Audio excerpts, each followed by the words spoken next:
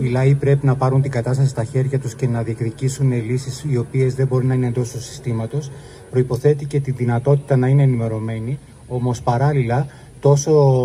γύρω από τον πόλεμο στην Ουκρανία και όλη την κατάσταση που περιγράφηκε μέχρι στιγμής, αλλά και νωρίτερα στην περίοδο της πανδημίας, ε, τα συστήματα εξουσίας ε, έχουν πειραματιστεί, έχουν κάνει διάφορα πειράματα για το πώς μπορούν να χειραγωγήσουν την πληροφορία, να, να δημιουργήσουν τη δική τους προπαγάνδα, να αποκόψουν την πρόσβαση της κοινωνίας στην κρίσιμη πληροφορία που θα, τους, θα, θα, θα τη βοηθήσει να αντιληφθεί, να ζυμωθεί και να διεκδικήσει. Ε, για να μας περιγράψει την κατάσταση που επικρατεί και τις διαπιστώσεις θα δώσουμε το λόγο στην ε, Μαρίνα Τιμαϊντάνη, ε, συντρόφισσα μέλος της ε, συνέλευσης του Ινφολίμπρε, δημοσιογράφο που έχει ασχοληθεί πάρα πολύ και με τα ζητήματα οικονομίας και διεθνούς πολιτικής είναι μέλος του Διοικητικού Συμβουλίου της Πανελλήνιας Ομοσπονδίας Ενώσεων Συντακτών ως ε, εκλεγμένη με, το, με την πρωτοβουλία για την ανατροπή, το πανελλαδικό σχήμα